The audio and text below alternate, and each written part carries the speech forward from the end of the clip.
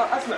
أنا هذه المنطقة هذه آه، زرت أنا كنت من صغري مولع بالاكلات التقليدية والحوايج ذات الطابع التقليدي.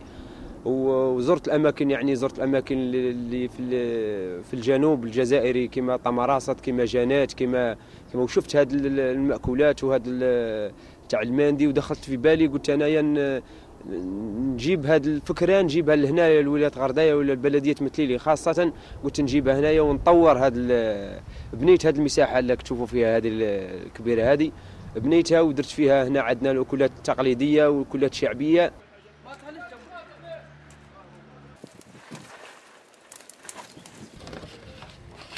ودرت فيها كما تشوف النخل هنايا وهاي الخيمة ودايرين شاك خيمة كبيرة ثاني هنا تاع أفراح و... وعائلات خيمة كبيرة.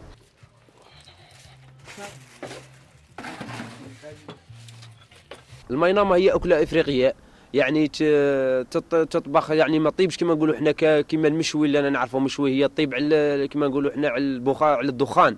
يعني النار لتحت وتجي طالعة شوية ويطيب على الدخان ما طيبش على النار.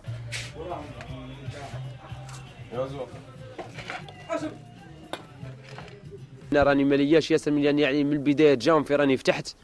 بن جانفي هذا الحمد لله يعني آه، وفود يعني تجيني العائلات يريحوا عندي يجوني الشباب يعني حتى نقيم حفلات الأعراس هنايا حفلات الأعراس. كاين دي جروب يعني آه، كاع من خارج الولاية يجوا هنايا يعني يكلموني و وعندنا كل يعني حتى المأكولات يعني أي واحد يتشهى أي أكلة تقليدية نصنعوها له.